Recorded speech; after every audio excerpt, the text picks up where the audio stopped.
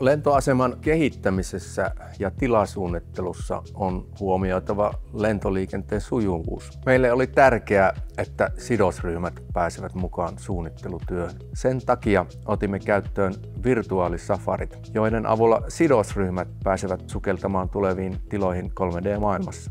Sidosryhmien reaktiot ovat olleet poikkeuksetta innostuneita, motivoituneita ja safarit täyteen puukattuja. Kehitysohjelma on ollut todella uniikki, ihan ainutlaatuinen. Kaupallinen liiketoiminta ja meidän tiimi on ollut hyvin vahvasti mukana tässä suunnittelussa alkuvaiheesta lähtien, jotta me saataisiin nämä tilat toimimaan hyvin ja sitä kautta olevaa houkuttelevia meidän B2B-kumppaneille, operaattoriasiakkaille. Matkustajatilojen arkkitehtuurissa ja sisustuksessa haluttiin korostaa paikallisuutta, erityisesti suomalaista luontoa ja vuoden aikoja.